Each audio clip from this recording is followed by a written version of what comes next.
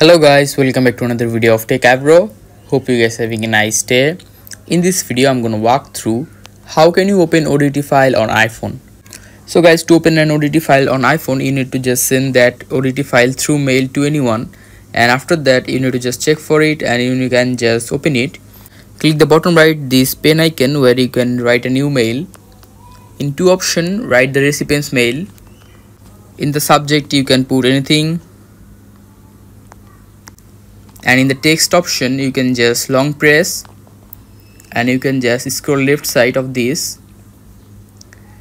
And here you can see attach file click on it and attach the ODT file. And just send it. After sending you need to wait for a few seconds.